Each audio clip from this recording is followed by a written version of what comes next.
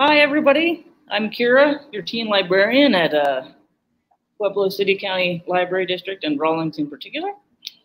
And I am very happy to be introducing Kristina Gaddy. Uh, she is the author of Flowers in the Gutter, the true story of the Edelweiss pirates, teenagers who resisted the Nazis, which we do have. Oh, there it is. And we do have it in the library, both as a book and ebook. Um, so check it out. And this is a presentation on zines of resistance, which is related to her book, but also is related to basically anytime and anywhere. Um, this is definitely today. Um, and I'm a big fan of zines.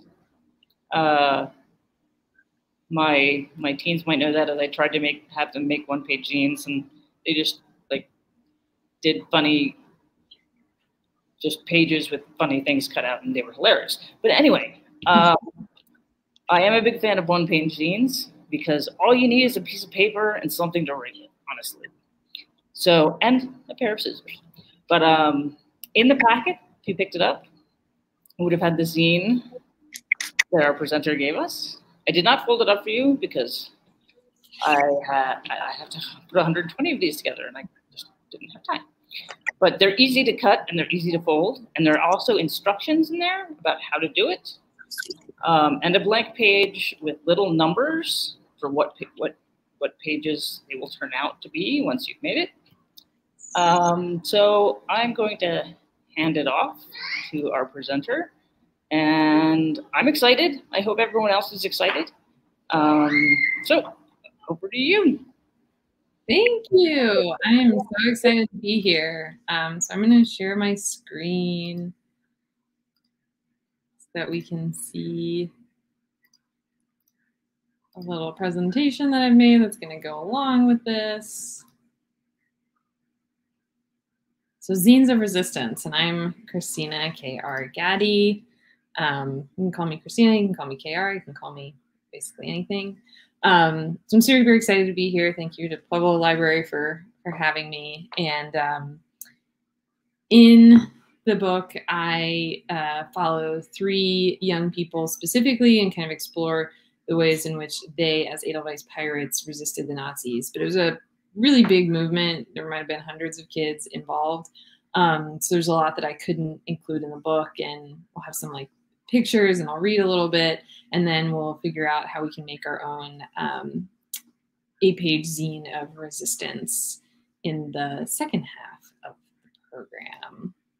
Um, so I think I just kind of wanted to start with a question of what is resistance because there's I, I, get into that as kind of a fundamental question um, in the book and it doesn't I don't really talk about it until the end um, but I think it's in, interesting to think about um, because we all have kind of different definitions of that. So um, this is a little academic, but just like, you know, thinking about it for yourself or for others, what does it mean? And these two authors um, have that you are acting autonomously in your own interest, that you're opposing, fighting, or refusing, refusing to submit to abusive behavior and control, you're engaging in behaviors um, despite it being oppositional, or you're simply questioning and objecting to things that you see going on around you.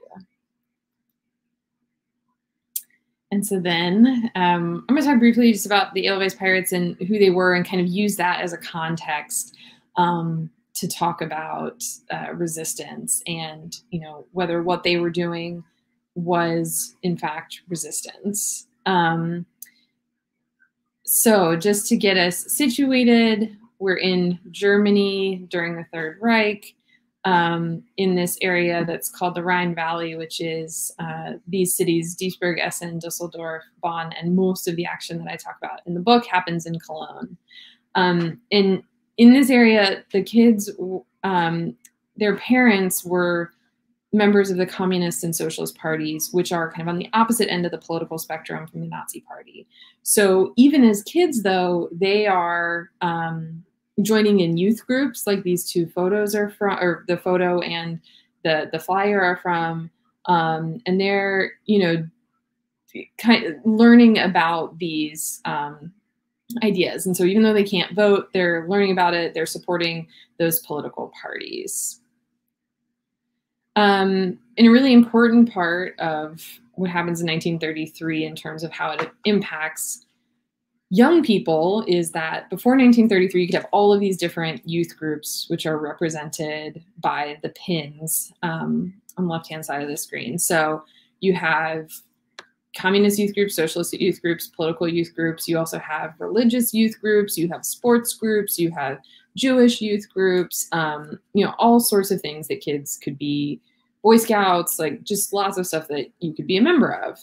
And then after 1933, basically because they want control, the Nazis say, no, the only youth group that is allowed is the Hitler Youth and the League of German Girls, which is the equivalent for girls, because you only you have a boys group and you have a girls group, and they're not allowed to hang out together. Um, so this has a really big impact on on the social lives of young people, and they're you know a lot less free to do maybe what they want to do. And so that's where you start getting an attitude of we want to be free from Hitler.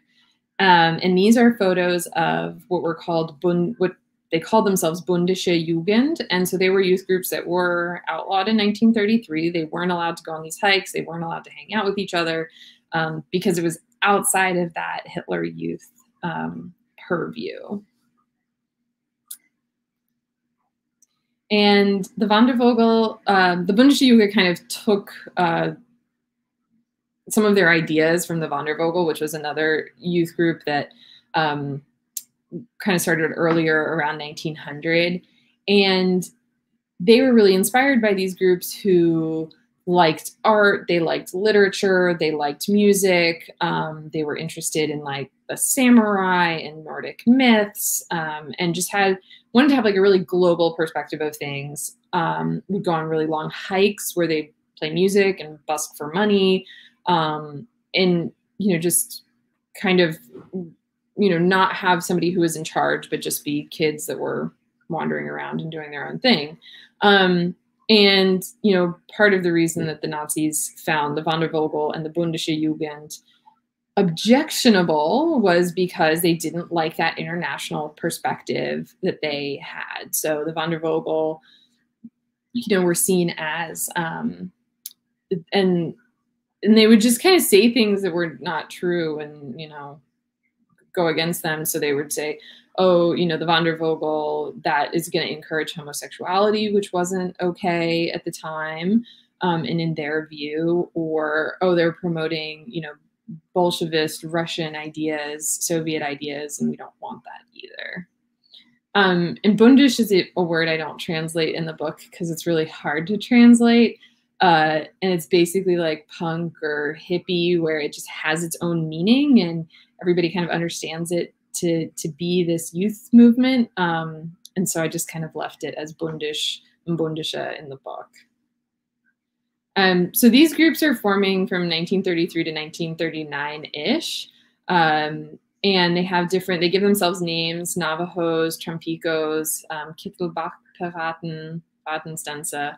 Um, I talk about it in the book also, but they were inspired kind of by the um, stereotypes of Native Americans with freedom, and that's why they named themselves the Navajos. And it's it's pretty complicated, but there's a note in the book about it if you're interested. Um, but they would also, yeah, so they'd go on hikes, they'd make a songbook like they have down here with the two guitars, um, and just kind of again wanted to be free from Hitler, didn't want to be in the Hitler Youth they're already kind of developing their own style. You can see a lot of them are dressed similarly. Um, music is already a big part of what they're um, doing.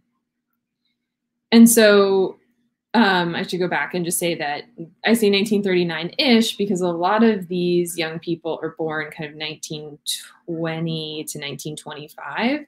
So at this period, you know, they're in their teens, but by the time they get to 1939, they're old enough to be in the military or to be working. So when the Second World War starts in 1939, they're either drafted or put into war industries. And so this kind of, you know, youth group movement is just not something that they're able to have in their lives. And also in 1939, some of them do get arrested for being in parts of these groups, because I'll explain that later, but they're always getting arrested for um, being involved in these kind of quote unquote subversive youth groups. And so the Edelweiss Pirates start emerging in 1939 as kind of the next wave of young people who are growing up. They're inspired by the Bundische Youth, um, not quite old enough to join it yet, but then, you know, 1939, they start making their own groups. Um, and I follow three young people in the book Gertrude, who's on the very left hand side of the screen holding a guitar.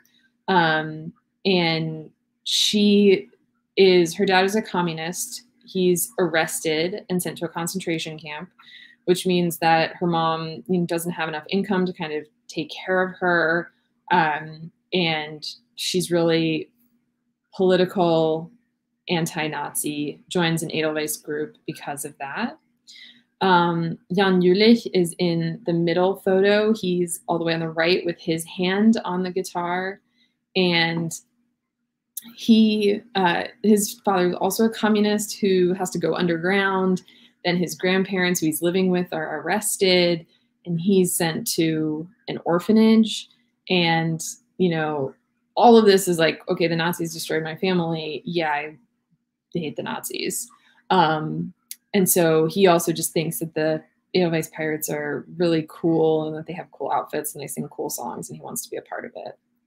Um, Fritz Theilen is here on the right. He is also from an anti-Nazi family, um, but he's kind of in this conflicted position where he needs to work and he wants to get a job at the Ford factory because that's a very good job. Um, but in order to do so, he needs to be in the Hitler Youth, which he absolutely does not want to be. So while he's working at Ford, which is at that time run by the Nazis, um, but still making cars and automobiles, he starts acts of sabotage um, to combat that. Um, before I start talking about the kind of characteristics of what made the Edelweiss Pirates the Edelweiss Pirates and how they engaged in um, what I think of as, as resistance is I just wanted to kind of put out there this idea that comes from a German um, historian about how people resisted during the Nazi period during the Third Reich. Um, and he kind of has it in this like on the one, you know, on the bottom part there, whether it was private or public, and whether it was partial, so just a small complaint or general of a criticism of the entire system. And so he says that nonconformity is behavior that's private and small. So it's not really above the level, you know, you're not going to get arrested by the police for it, but it's still, you know, a form of resistance. Um, and then there's refusal, which is opposition to orders issued by authority. It's a little bit more general, it's a little bit more public. Um, there's protest, which is even more public but maybe just against a particular issue and not the system as a whole. And then finally, he only classifies resistance as being a rejection of the Nazi regime as a whole and that you're actively trying to bring it down. Um, and so the question becomes is this an accurate definition of resistance? I don't, I'm not sure I agree with it. Um, and how do we kind of like think about what people do as resistance and how it you know, does it fit into these categories or is it something different? So I just kind of wanted to throw that idea out there. So style was one of the things that really kind of defined the Edelweiss Pirates. They had their own very distinct style and they could see from what other kids were wearing who was an Edelweiss pirate, but also the Gestapo, the police, the Nazis could tell who was a member of the Edelweiss Pirates by what they were wearing. So they had a report that I translate in the book where it's basically like, oh, if they're wearing neckerchiefs, if they're wearing checkered shirts, if they're wearing, you know, boots with their socks, their white socks rolled down, um, those are signs that they could be Edelweiss Pirates. If they have a lot of pins on their clothes. Um, so, you know, keep your eye out for that and, and they might be subversive. Because again, if they're meeting and going on hikes like this outside of the Hitler Youth, that is illegal and not allowed. And the Nazis are thinking they are doing something illegal, they got to be stopped. Um, the the girls wore, you know, often these black skirts with um, pleats up the middle, or they wore kind of German inspired outfits, like you can see this guy here. Um, the guys were known to wear their hair long, um, and it might not look so long in these photos, but it was longer than the Nazis deemed appropriate. Um, and then within the style, but also kind of moving into some other ideas, um, this is a photo on the left-hand side of a young woman named Ruth Drang. And you can see from this that she's wearing pants, which are not part of the kind of quote unquote feminine ideal that the Nazis would have liked to have seen. So she's wearing pants, she should be wearing a skirt. Um, and that was, you know, a form of subverting what they thought was appropriate. And within that, there, you know, were very specific gender um, binary norms that the Nazis believed in. So one of the accusations that they had about these youth groups were that on the one hand, because guys and girls were hanging out together, that was bad and inappropriate. Um, that only guys should hang out together and only girls should, you know, hang out together. Um, but then, kind of bizarrely, at the same time, they accused these groups of encouraging homosexuality, which was illegal and something that people could be um, punished for. So they claimed that this image on the left, that those were images that were taken out of a Bundische Jugend um, scrapbook. Whether or not that's true, we don't know because they could have, you know, totally found them somewhere else and just made that up. Um, but that was kind of one of their accusations as to why these groups were bad. So on the one hand, we have that. And on the other hand, we have something that I find, you know, completely amazing um, for many different reasons, which is that these there are photos that show up in the photo albums of Edelweiss Pirates and Bundische Jugend, where young people are wearing clothing that is not what they should be wearing according to you know Nazi standards of a gender binary. So girls should be wearing girls' clothes, boys should be wearing boys' clothes. And that's what they thought. And there was no room for anything in between that. And yet you have these pictures of kids who are not doing that. And you know, the the crazy thing to me about it is that this was something that if found not only could get them arrested, it could get them sent to a concentration camp. Um, you know, women who were involved in sex work or men who were thought to be homosexuals were sent to concentration camps um, and could have died because of you know just the way that they were living their lives. Um, so it's pretty amazing to see their expression of you know what they want to be doing, but then also really scary that they're doing that um, in the face of really serious consequences. And music was a huge part of their resistance too. So in almost every single photo, somebody has a guitar, but they also had lots of other instruments. There's a banjo here in one of these photos. They had balalaikas, um, ukuleles, mandolin banjos, uh, violins, just all sorts of instruments. But they were always playing music. Um, and one of the interesting things about music is that it too was subversive. So you had a Hitler Youth approved songbook that people were supposed to be singing songs from. And these guys were not singing from that. And they would change lyrics to make them specifically anti Nazi, or they would sing songs that they knew that the Nazis had banned um, because they didn't like them. And so here is um, you know, just another photo with some kids playing music and then a page from one of the songbooks.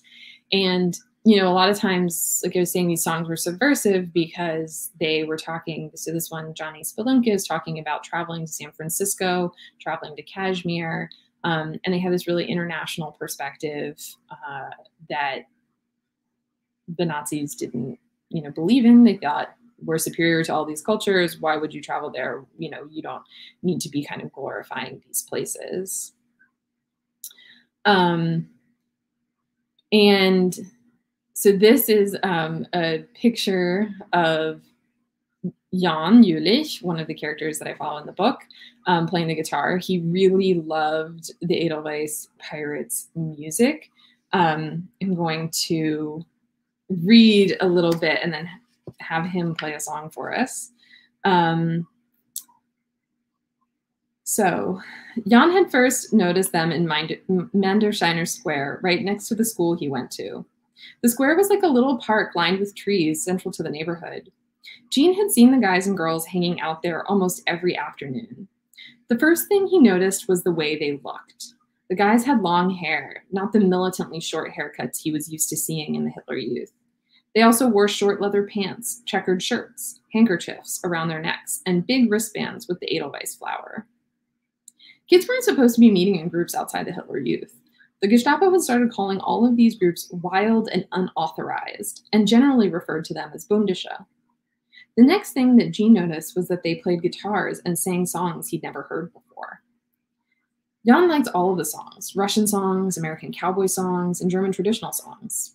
He thought that they were blatantly, he, thought that the blatantly anti Jewish songs he had in, to sing in the Hitler Youth were awful.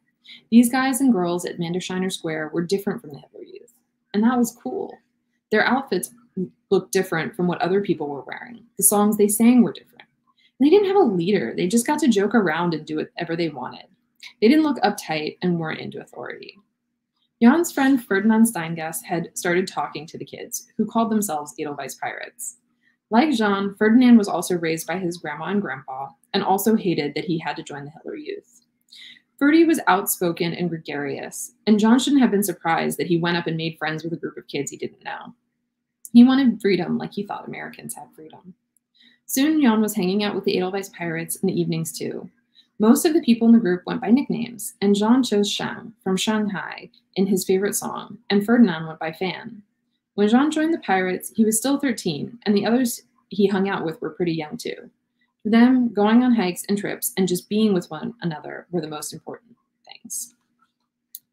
Um, and so, yeah, so he loves songs. So this is one of, um, not his favorite song, which is uh, It Was in Shanghai, which again, referring to, to China, very far outside of the German borders.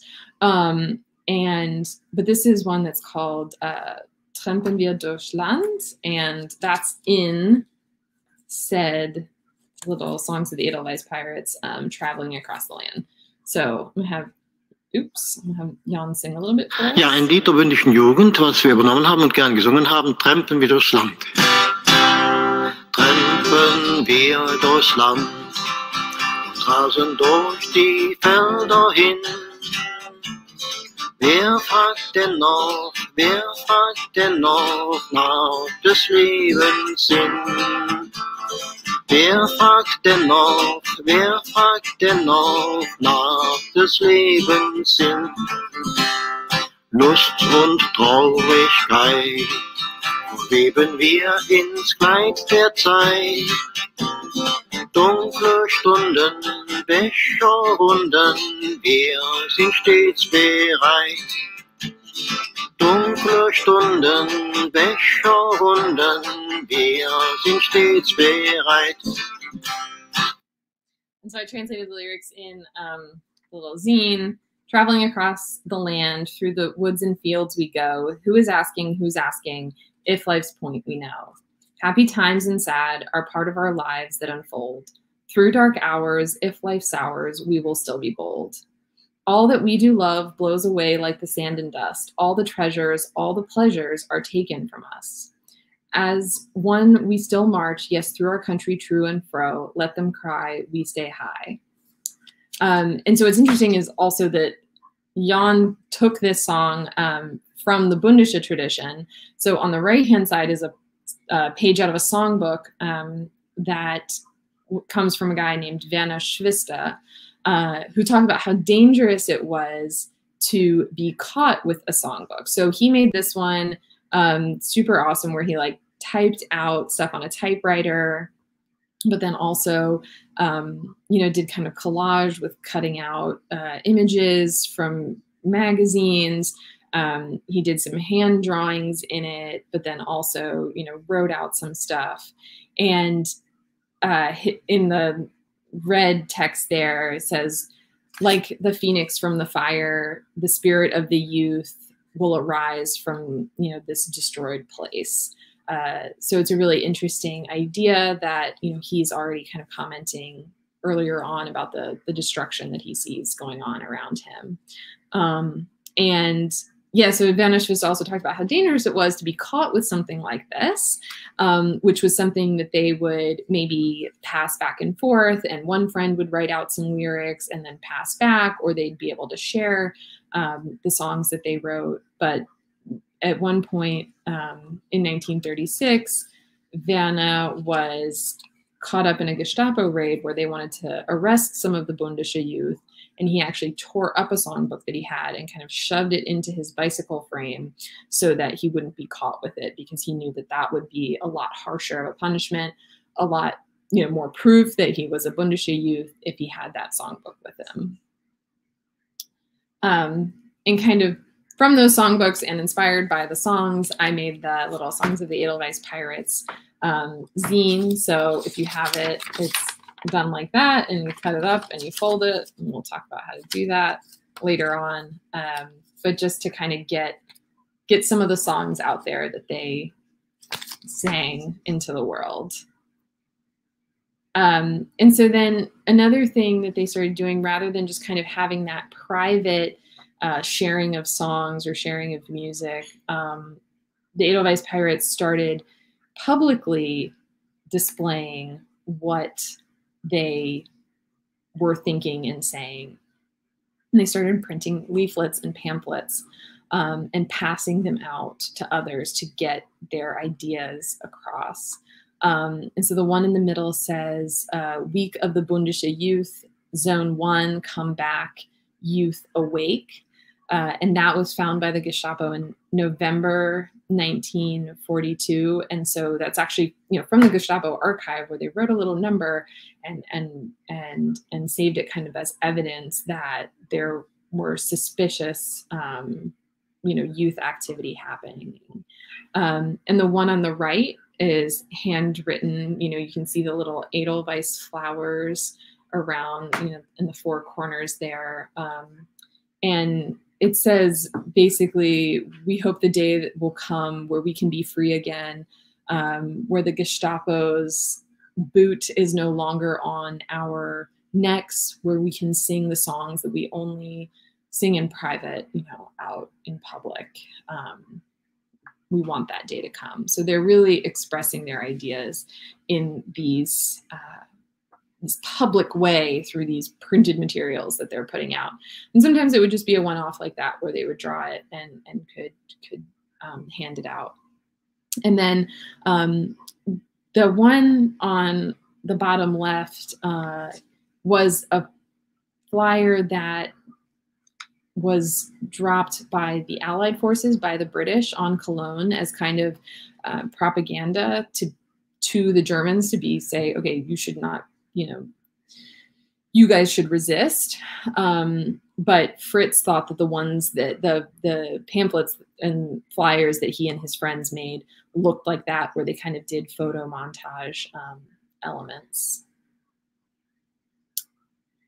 And then, you know, in addition to doing the pamphlets of kind of public displays of um, resistance, they also painted graffiti. Uh, so the one says Heil Navajo and the other says Die Bundische Jugend. Um, and that was found in December 1942, uh, including graffiti on the Gestapo building in Cologne, so on a Nazi building, basically uh, supporting the idea of this youth resistance. Um, and the Dusseldorf Gestapo wrote to the Nazi Party headquarters These youngsters, aged between 12 and 17, hang around into the late evening with musical instruments and young females. Since this riffraff is to a large extent outside the Hitler Youth and adopts a hostile attitude towards the organization, they represent a danger to other young people. And that was the main idea with the arrest is that they could corrupt the system. And so these uh, this graffiti following the flyers in November and December of 1942 led to huge arrests where um, up to 700 young people were arrested, um, sometimes in raids of like 30 to 40 people at a time. And not all of them went to prison. Um, not all of them were sent to youth re-education camps, which was another kind of option that, that the Nazis would put forward. But the idea was that an arrest would be enough to make these young people scared and not want to participate in these youth groups. Um, so as I mentioned earlier, they were just um, be, you know arrested a lot. It wasn't just those big raids; it would be smaller raids like this too. They had those warnings out there of this is how you can identify an Edelweiss pirate or a Bundische Jugend. Um, and so the photo on the top is, uh, you know, after this young guy's been arrested and taken in um, in Wuppertal by the Gestapo. Uh, and then the photo, uh, the other photo of the kids walking has uh, text written on top of it and some names with arrows. And the idea there was that that was a photo that the Gestapo had confiscated from some young people. And uh, we're basically trying to figure out who it was that was in the photos of like name your friends. And that's a big reason why um, the young people were using, the Edelweiss pirates were using nicknames was because if you didn't know somebody's real name, you could just say, oh, well, that's, you know, Gertrude's nickname was Mucki. That's Mucki. I, you know, I don't know where, I don't know her real name. I don't know where she lives. And in that way, you know, you could attempt to, um, you know, protect your friends. Um, and I just want to read a little bit about from Gertrude about when she was uh, placing flyers around in Cologne. Gertrude could barely see the top of the Cologne Cathedral if she stood outside and looked straight up. The dark stones ascended into the sky with hooks and points and edges sticking out like sugar crystals growing, growing in a glass. This building was something from the past when people would come from hundreds of miles to pray inside the cathedral at the bones of the three kings from the Bible story. This church was visible for miles around, from the Ford factory to the Seven Mountains, and it was an easy place to spot from high in the air where American and British planes dropped bombs. The heavy doors opened and Gertrude stepped inside. The large sanctuary unfolded in front of her as the doors shut out the light from outside. Almost no matter the weather, the large open space, thick stone walls, and stained glass windows kept the sanctuary cool and dark. This was the perfect place to hide flyers where people would find them. People shuffled around, everyone looking up and around at the magnificence, the light shimmering through the red and blue and yellow glass, putting visitors into a trance. They were not paying attention to Gertrude and her friends. Gertrude had a shoulder bag full of flyers, already folded up, ready to go. She picked up a hymnal and carefully placed it in her bag. Then she opened the book without looking down and slipped in a flyer among the pages of the holy songs. She took the book out of her bag and placed it back on the rack of the pew. No paper could be sticking out, and no one could see them picking up the books or putting them back. The Catholic Church also had suffered at the hands of the Nazis, but anyone here might think that what they were doing was suspicious and report them to the Gestapo anyway. She moved along the pews, doing the same trick over and over again, all around the massive sanctuary. She didn't have many flyers, but she needed to get rid of all of them right then and there. Nothing could be found on her person. When Gertrude and her friends didn't have flyers, they had other plans. They would meet up at nighttime and move through the black, empty streets. No light could shine, and there were no streetlights or no stoplights. Every house window had to have a blackout curtain, and cars weren't supposed to drive with headlights. The city was supposed to be hidden from the bombers flying overhead. The cloak of darkness also meant the Edelweiss group could sneak through the streets with their buckets of white paint and scrawl messages on the sides of buildings. One of the newer members of the group, Sepp, had compared Nazis to shit because of their brown uniforms. So he wrote, Is your nose still full of brown shit? And as brown as shit, that's how brown cologne is. Wake up. One day, once, the day after a night of graffiti, they heard someone say something like, those pigs destroying the houses, it was definitely the communists, those scumbags, as if the messages they were writing on the houses were worse than the destruction the Nazi war was causing. On the other hand, when they heard people supporting the graffiti, it made Gertrude happy. The more they did, the bigger impact they could have, even if it meant more danger. That was when they decided to drop flyers at the main train station in Cologne. And so as they go through these actions, you know, they're getting closer and closer to being apprehended by um, the Gestapo and by the Nazis. Um, and so the, you know, they were arrested um, and some, it wasn't Gertrude, um, Fritz or Jean, but others of the Edelweiss Pirates got involved with um, some other young adults and some adults in what became known as the Ehrenfeld Group. And this is kind of where coming back to resistance of what is it that you're doing that is considered resistance and what is not. Um, and so that group planned to blow up the Gestapo building in Cologne. They amassed um, weapons and ammunition. Uh, but before they could carry that out, they were discovered and arrested and executed by the Gestapo in the fall of 1944, uh, which was kind of a last, you know, ditch effort. The Nazis knew that they were losing the war, um, but wanted to send this message anyway. Um, and because those Edelweiss pirates got involved in that group, many people considered the Edelweiss pirates criminals who were doing criminal things, even if those criminal things were trying to take down the Nazis. And then those who hadn't been involved with the Ehrenfeld group were also not considered resistors because they weren't organized or they weren't political. They didn't have a specific political belief that they were trying to put forward, um, as if saying, you know, just not being a Nazi is not political. Um, and so there wasn't until 2005 that the Edelweiss Pirates were officially recognized as a resistance movement uh, during the Third Reich. And this memorial that's in Cologne at the site of that execution is a completely grassroots memorial. It was created by the community. Every year they have um, a memorial event that takes place there uh, with music and um, you know remembrances of the Edelweiss pirates. Okay, and now that we've been thinking about resistance and what it means to resist, um, we are going to make a zine. So uh, you'll need you if you have your um, piece of paper with the eight uh, squares on it, that is good. If you don't, all you need is, you know, pen, marker, pencils, whatever. Um, two pieces of paper, because we're going to use one for ideas and one to actually make a zine, and scissors, and then your ideas. And in addition to pen, pencil, marker, you can go as crazy as you want. Um, I brought out some stickers that I have that you could use to kind of cut out uh, cut out letters. You can, you know, cut out stuff from magazines and kind of do a uh, collage effect, whatever you want. It's a really free medium. Um, and so I also want to just show some examples uh, before we start making our own.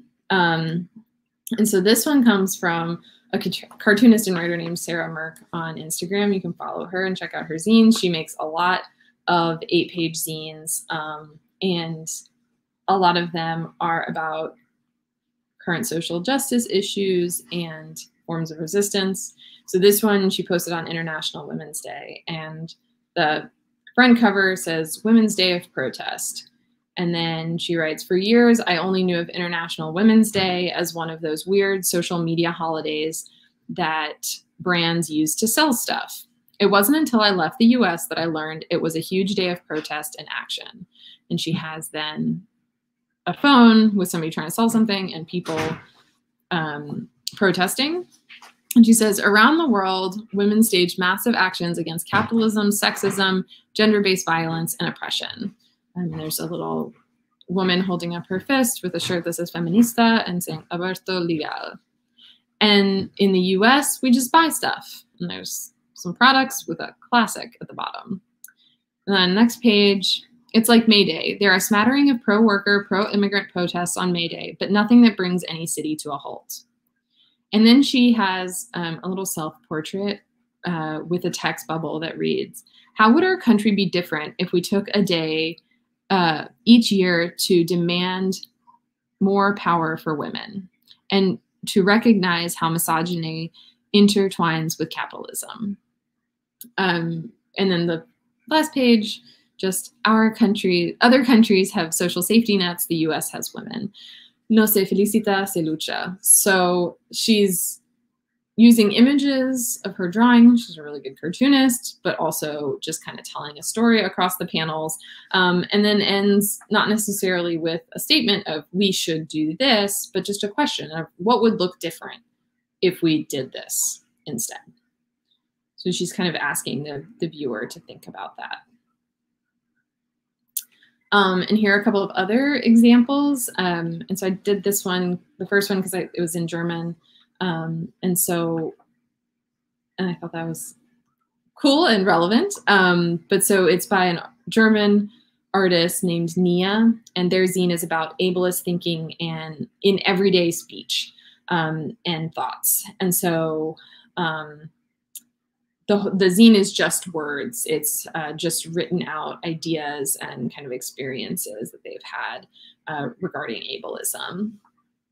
The next ones are four in a series called Body Positivity 1, 2, 3, and 4 by Erica. Uh, their handle is Erica Engdahl, is a 37-year-old blue-haired woman who lives with chronic human who lives with chronic depression and identifies as asexual. Erica is a librarian and event organizer who puts on performance poetry events and a local zine fest. And um, they say, You are not fat, you have fat. There's a difference.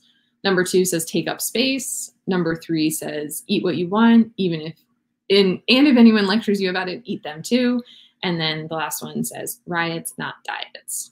Um, and then Mariella has one that has resist on the cover and it's a little video where they flip through and show uh, different images of resistance. Um, Marielle is an artist in Salt Lake City and their work explores the experiences of queerness, migration, and displacement while building a space for healing and resistance.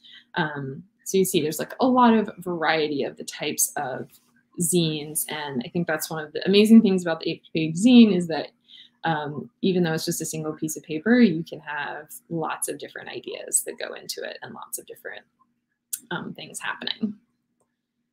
So that brings us to the first part of our zine making. So I thought we could just start with some brainstorming of um, ideas. So you might already have something that you want to make your eight page zine about, or you might not. Um, and so let's just start with you know, what do you think could change in the world, could change in your community? What do you think is unfair? What do you think people should know more about? What's something that you think people should respect? Um, what's something that makes you angry? What's something that makes you happy? What do you want to tell your friends, parents, classmates um, that you might not want to speak to them, but explain to them? So let's take like five minutes and just start brainstorming ideas. And you don't have to write sentences.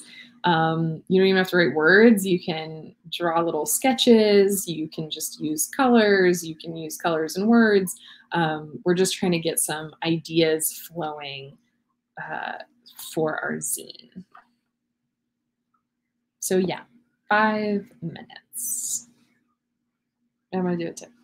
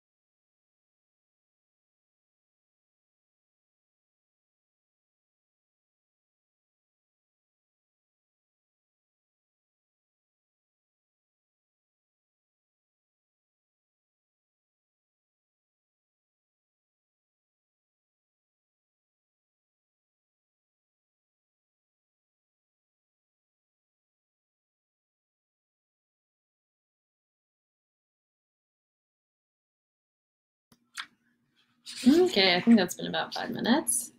Um, so the next thing you want to do is kind of look over your list of things that you've written down or little sketches that you've made and think about how we could make that into a zine. Do you want to tell a story about something that happened to you?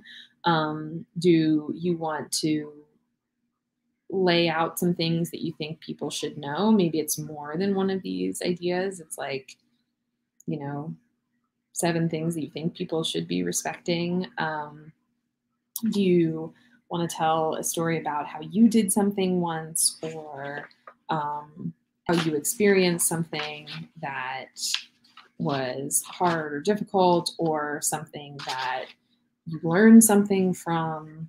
Um, you know, you can really go in a lot of different directions. Um, but we do have our eight pages. Um, so think about like of the things that we wrote down, you know, maybe between three and six ways that you could expand um, what you've done, or three or six ideas that you've written down that you think you could, you know, kind of compile into one zine. Um, so I wrote down all of my ideas here on my one piece of paper. Um, so let's take another, yeah, maybe three to four minutes to just kind of flesh out some of the things that we might be thinking about about one of these ideas or putting pulling together a couple of these that could go onto one zine. Um, so yeah, let's yeah, let's take like four minutes to do that.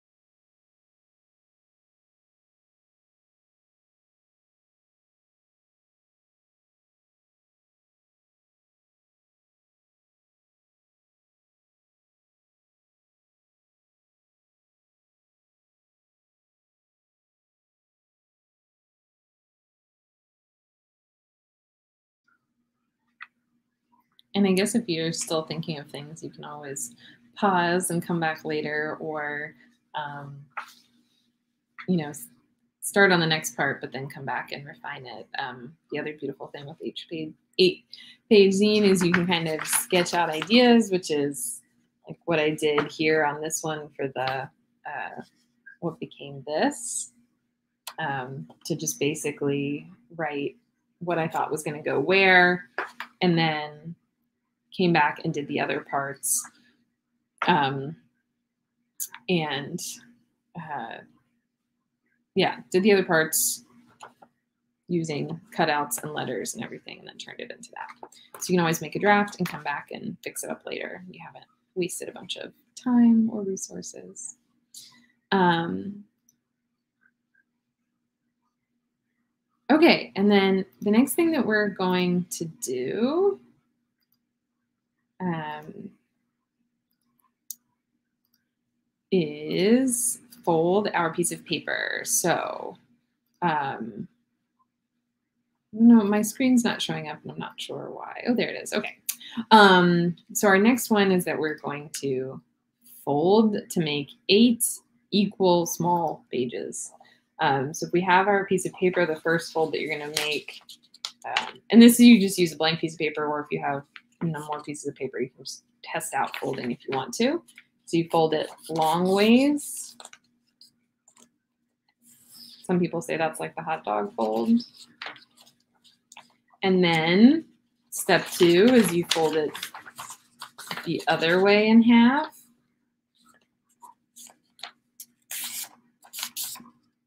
Hamburger fold. And then, this is the interesting one, you flip the paper over and you fold this edge into the middle and this edge into the middle.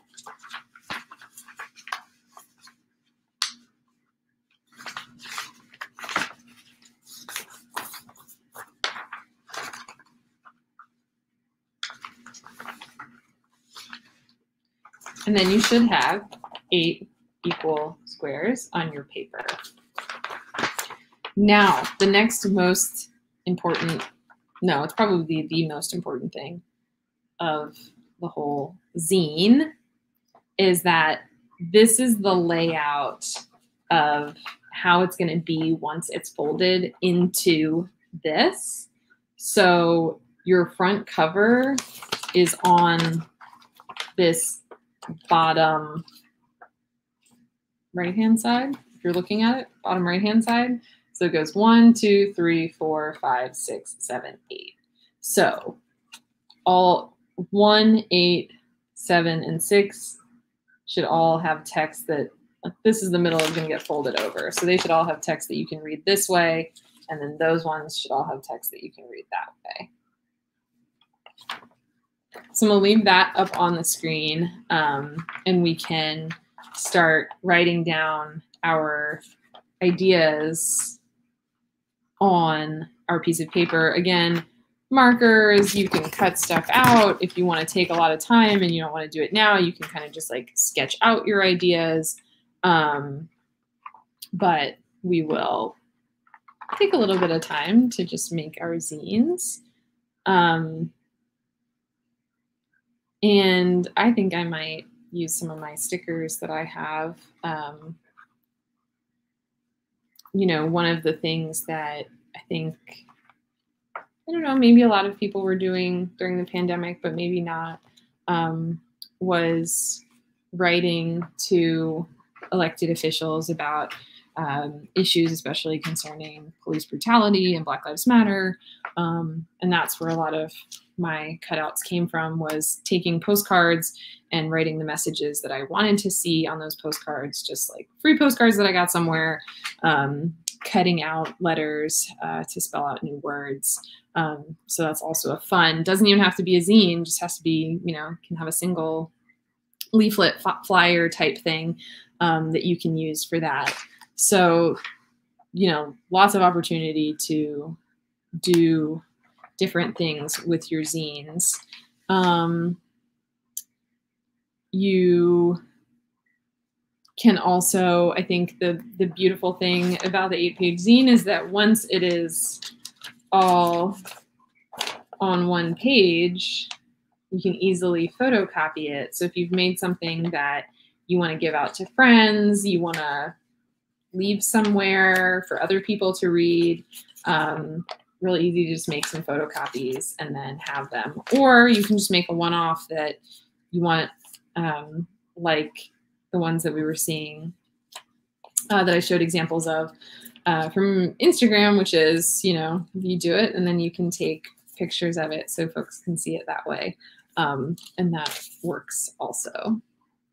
Uh, and that's what I did with this one was printed out photos and images um, and wrote wrote things on a typewriter separately and then glued them all to a piece of paper and then photocopied that one piece of paper to make lots of copies. And then I also scanned it into the computer so that I could send it to people if they wanted to print out a copy on their own. Um, yeah.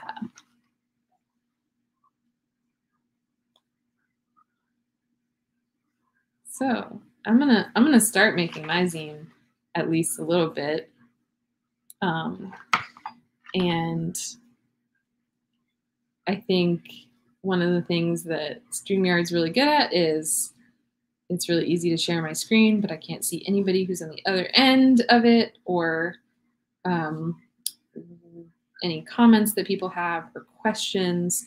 So if you do have a question, you can always um, go to my website, kristinagaddy.com or flowersinthegutter.com and ask a question. Ask me a question there if you want more resources or you're curious about something that I said during the presentation. I'm really happy to share more of what I've learned um, about the Edelweiss Pirates and their world um, with all of you. Because, like I said, you know the the great thing about writing a book is writing a book and getting ideas out in the world and the sad thing about writing any book is that you can't ever include as much as you want to include in it um, so was definitely things that i couldn't include in the book that i love sharing with people um, and so if you have any of those questions please reach out to me and let me know.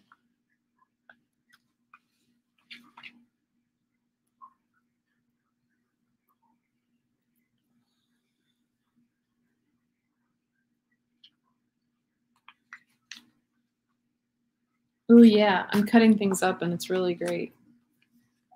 It's really fun way to do this. So I highly recommend it especially if you can get free stickers from folks. I happen to have some good free stickers lying around that I've been able to use for this purpose. But you could also use magazines and just glue them down instead. Um, that's a fun way to do it also.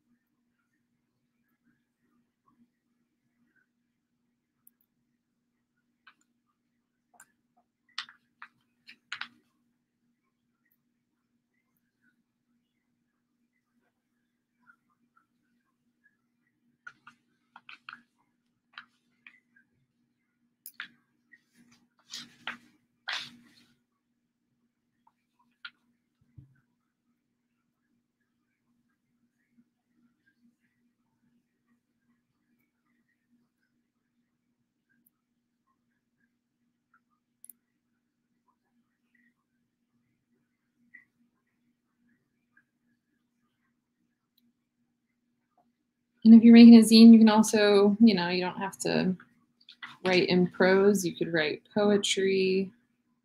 You could just do drawings without any words at all.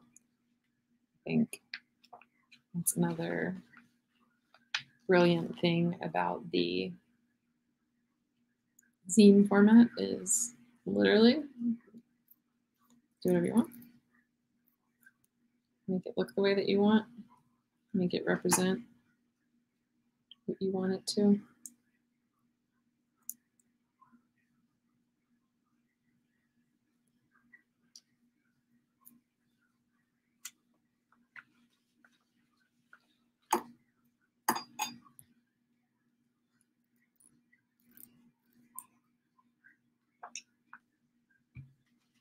I'm mostly a word person, not really a drawing person, so mine's gonna mostly be words.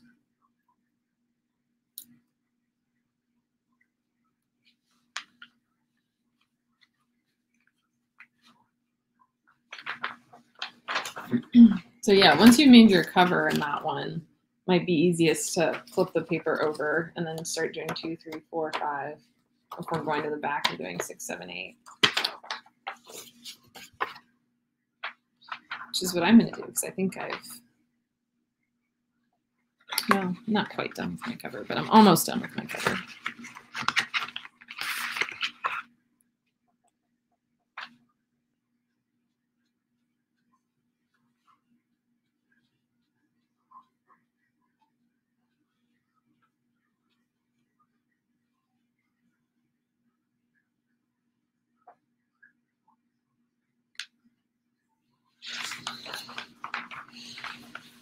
Don't worry about filling up the space either. If you want to leave a lot of white space, that's cool too. All depends on how much, you know, you want to kind of put in there and do. Um, but now I've finished my, I've finished my cover. And so now I'm going to do my first page here. I flipped my paper over.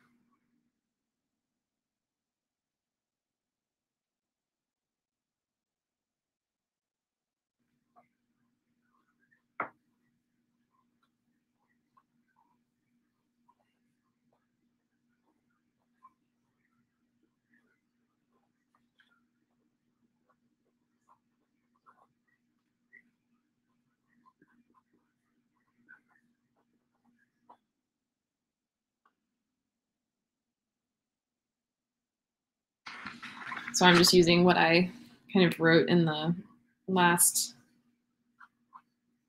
part that we did of like fleshing out those ideas and throwing that down on my first page here, writing it definitely a lot faster than cutting out individual letters. But cutting out the letters was fun too.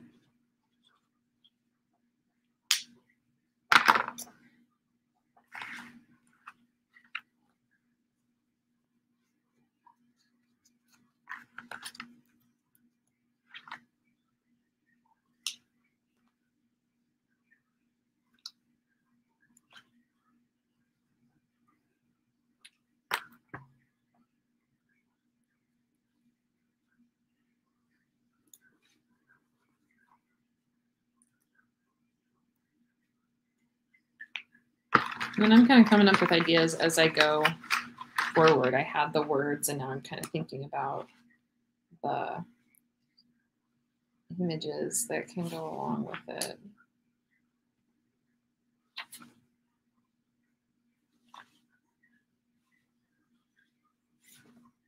Maybe I'll do this one and not like it and then come back and do another one, different one.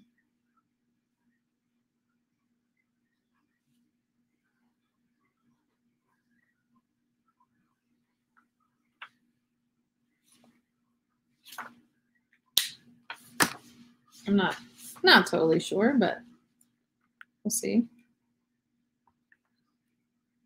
Perhaps.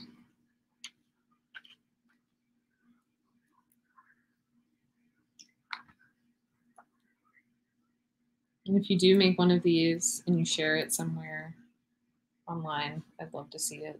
So you can tag me or send it to me. Let's think about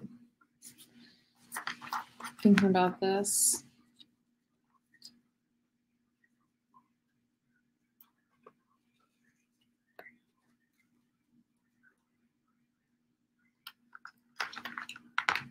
I'm definitely using a little combo of combo of stickers that I'm cutting out and writing.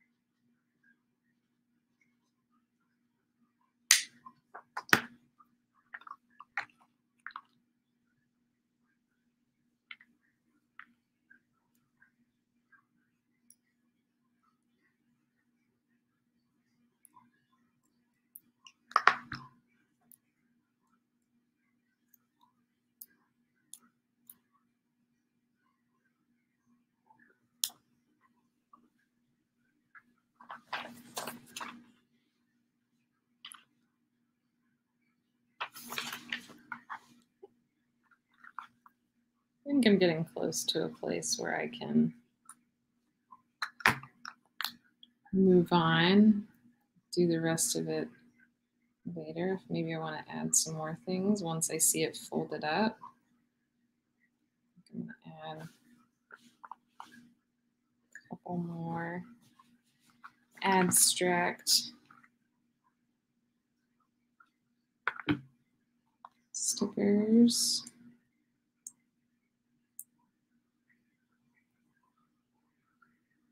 Problem when you cut up stickers is they don't come off anymore.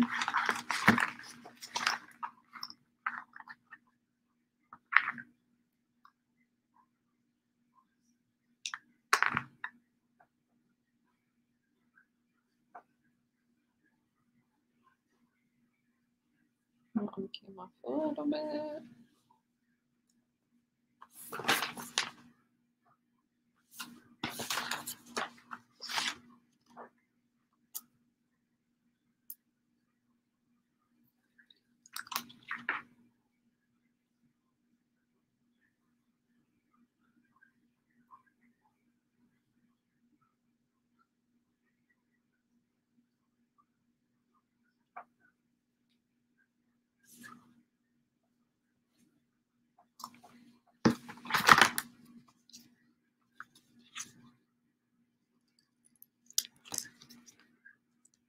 And if you're watching this after the fact, you can just fast forward through all this and see the sweet part of how we're going to make it into a zine.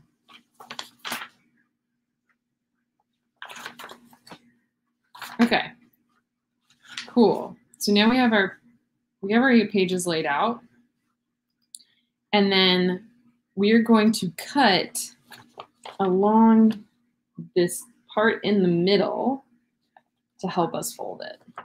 The easiest way to do that is by bringing the left side of the paper to the right side of the paper, or the right side of the paper to the left side of the paper, and making that fold again, and then cutting halfway through. So from the edge into the middle.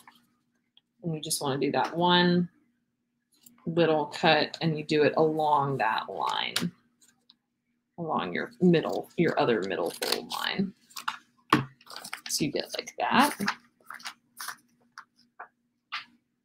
And then, hmm, oh.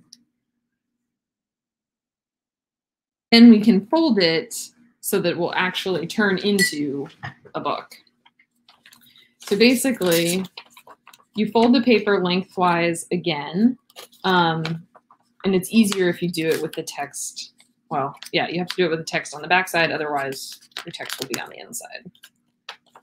So you fold it like that.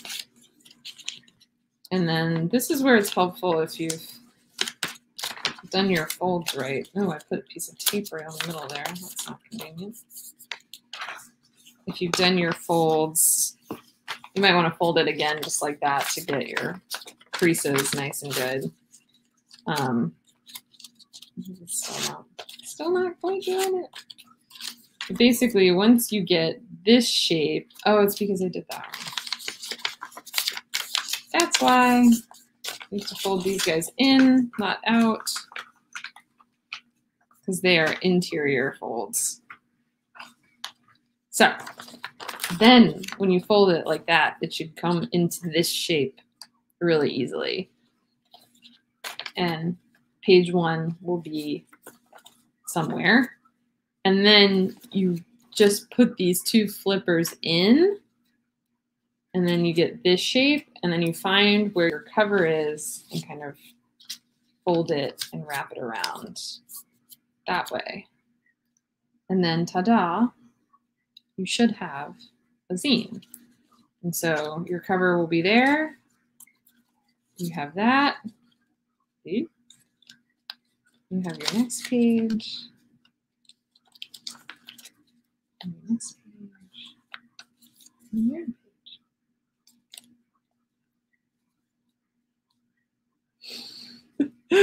yeah and if you you can lay it all out and draw it in pencil and then if you're like oh i want to come back with markers later or I'm going to figure out, you're not going to sit here like me and cut out this stuff on this and you want to find some um, cool stuff to use for a collage, that's a great idea. Um, but yeah, so this will be up and you'll be able to see how to make a zine um, on YouTube.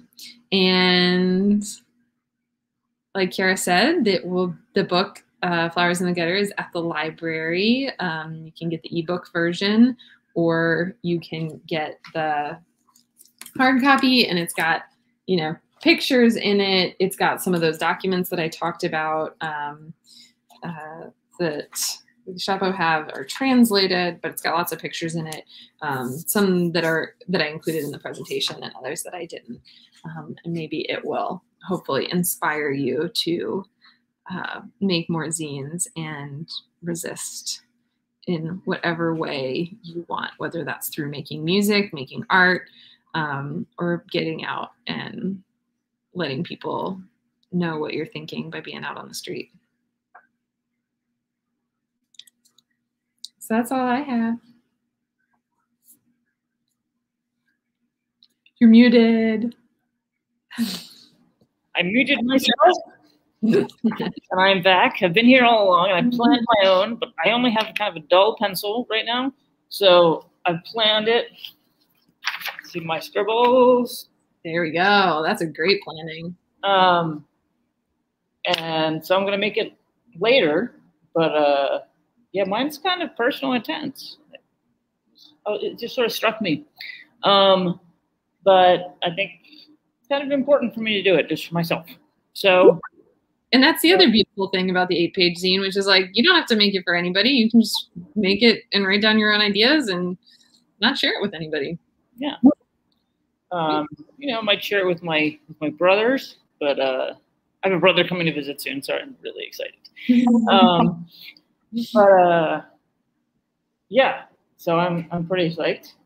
Gonna gonna put that together. I've already been like crossing off. No, I'm gonna put that. No, um, but uh, yeah, that was great. And I encourage folks to make zines just like it can just be like a hobby, you know, it's like it's like you don't need that much stuff.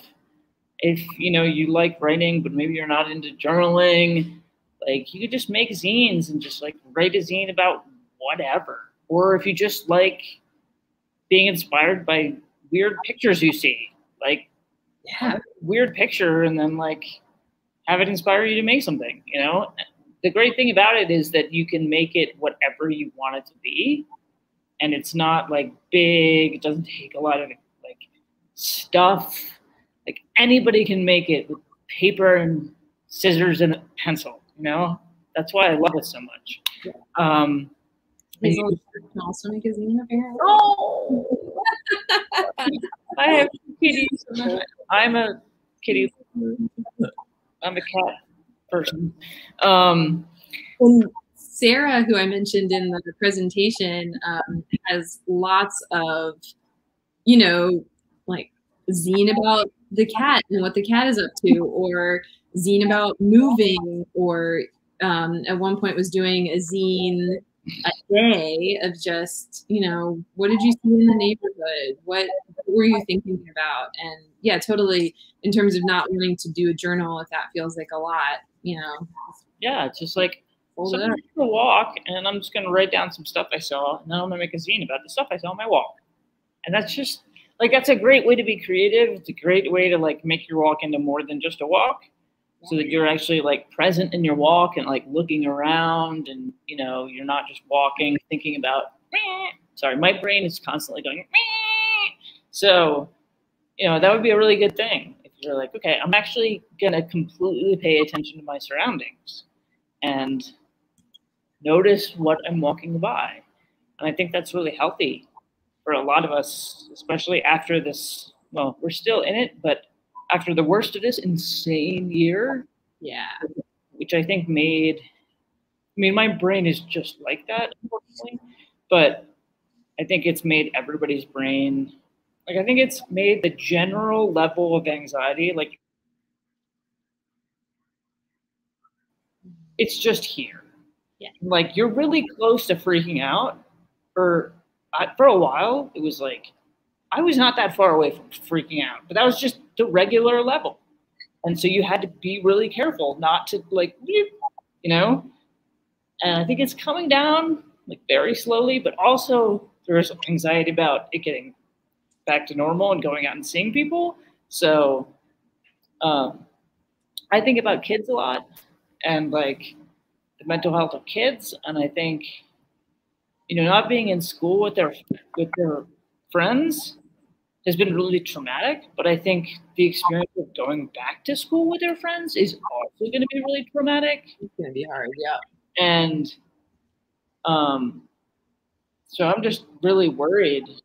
Um, and nationally, like mental health of kids has been kind of another crisis. You know, it's like pandemic one, pandemic two is mental health. You know, Yeah. um, And So- I, I personally think that writing um, and thinking, and you don't even necessarily like need to write a lot, but just thinking about those things can Yeah.